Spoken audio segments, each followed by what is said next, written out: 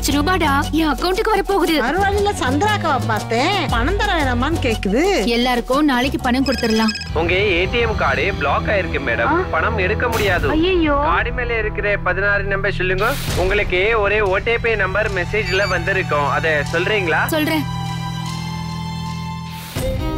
குடுமா. சார் மூணு லட்ச ரூபாய மொத்தமா பார்த்ததே இல்லடா. மேடம் உங்க அக்கவுண்ட்ல பணமே இல்லையே. ஐயோ!